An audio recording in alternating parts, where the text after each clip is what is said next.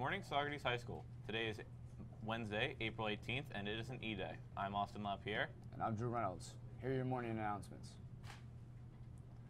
The junior high library is closed periods 1, 2, 3, 4, and 9. The junior high computer lab will be open 9th period, and the senior high library is closed periods 2, 5, 6, 7, and 8 today. Mrs. Verge's students who are making ice cream sundaes should meet in the junior high library 9th period today. Senior High Band, alto and baritone saxophones, period 3, tenor sax, period 5, trumpets, period 8.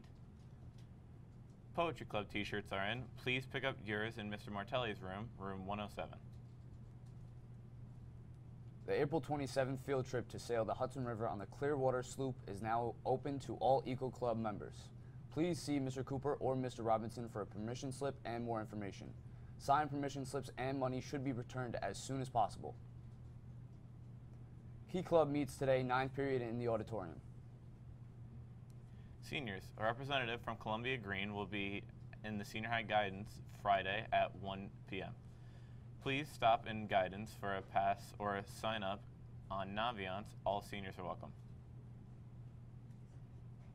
The modified track team had an excellent track meet yesterday at Rondout Valley. Practice today is ninth period only, and remember that if you need to stay with the teacher, that you should. That's all for your morning announcements. From the entire SHS News crew, I'm Austin LaPierre. I'm Drew Reynolds. Have a great day, Sawyers.